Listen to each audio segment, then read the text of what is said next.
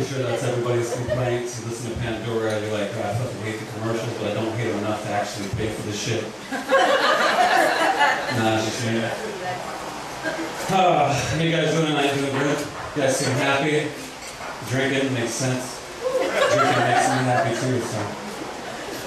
Oh, Monday night, yeah? Yeah?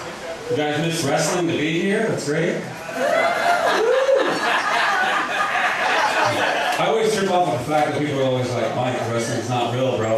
Uh, when I do that shit to people at Walmart, it is.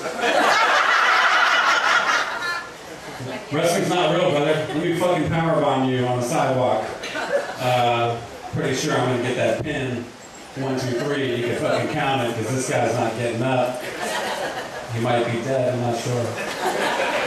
Tell me that shit's not real. Oh, man. Single again. Yeah, you guys aren't surprised. It.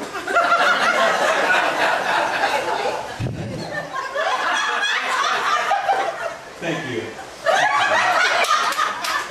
I don't know. He seems like he should have somebody that. a lot of dating apps and shit these days. You figure that somebody would swipe right on him or something. I was in a relationship that actually just ended because I'm not a very good boyfriend, which is the same reason that my marriage ended because I wasn't a very good husband. that happens. Yeah. I don't know, you- you're just right here, so. I'll be talking to you for a little while. I learned something about women uh, that I didn't realize before, and that is that uh, women really love fishing uh, for compliments. They really love fishing for compliments. Yeah. I'm so ugly. What? Bernice? No, you're not. Bernice, you're so pretty. But it's always, it's always the really pretty girls that do that shit the most, though.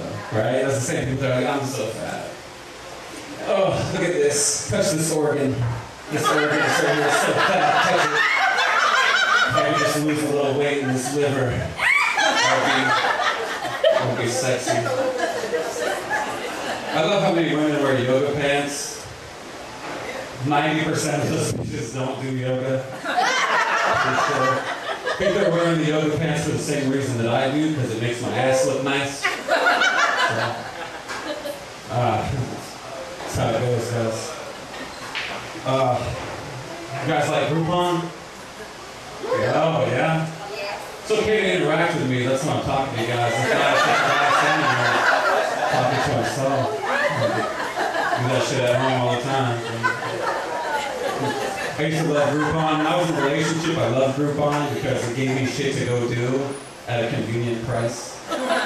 So that was good. Now that I'm single, uh, Groupon just feels very insensitive to me. Uh, it sends me shit. It's like two for one romantic boat ride. I'm like, who the fuck am I supposed to go on that shit with? You know, send me some stuff that I could use. Like, hey, Mike, 50% off a prostitute. Three dollar bag of socks or something. Give me something that I use. That's what I'm saying. You know? You have two kinds of single people. You have the single people that are like, yeah, I love being single. It's great. And then you have people like me that are like, still sleep on one side of the bed and shit. So that way I don't get too used to it. Eventually somebody else is going to be in that other spot. That's what I'm saying. So I'm taking applications. Uh, I'll be over there at the bar drinking my life away. That's actually funny. Uh, I actually stopped drinking again recently. Uh, again, because my family hates me when I drink. Uh, that's not a joke. That's just. I stopped going to my AA meeting, so this is like my only opportunity to get to the. Yes.